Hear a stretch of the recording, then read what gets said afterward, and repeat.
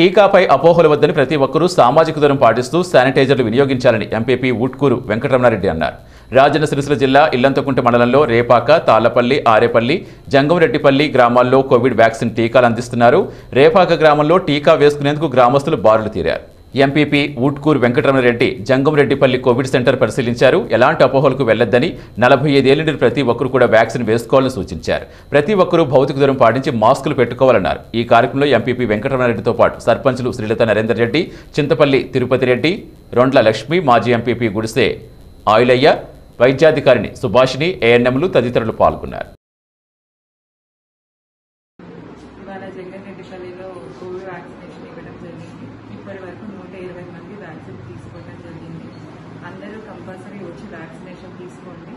ఇప్పటి వరకు ఇల్లంతకుండ మండలంలో మూడు వందల మూడు వేల మూడు వందల మంది టీకా తీసుకోవడం జరిగింది.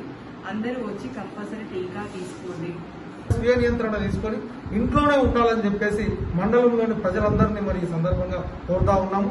వ్యాక్సినేషన్ వేసుకున్న తర్వాత నలభై ఐదు రోజులకు కానీ ఈ వ్యాక్సినేషన్ మన బాడీలో మరి మింగిలై మనకు యాంటీబాడీస్ పెరగడం జరుగుతుంది కాబట్టి అప్పుడు మనము ఈ కరోనా నుంచి ఎటువంటి తీవ్రతనైనా కూడా మన బాడీ తట్టుకునే స్తోమత కలిగి ఉంటుంది కాబట్టి ప్రతి ఒక్కరూ మరి వ్యాక్సినేషన్ వేయించుకోవాలి.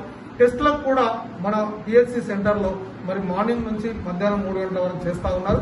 ఎంతమంది ఎంత ఎటువంటి ప్రాబ్లం ఉన్నా కూడా చిన్న ప్రాబ్లం ఉన్నా కూడా భయపడకుండా మీరే ముందు వచ్చి స్వచ్ఛందంగా టెస్టులు చేయించుకున్నట్టయితే ఇతరులకు దీన్ని సోకకుండా జాగ్రత్తలు తీసుకున్న వాళ్ళైతారు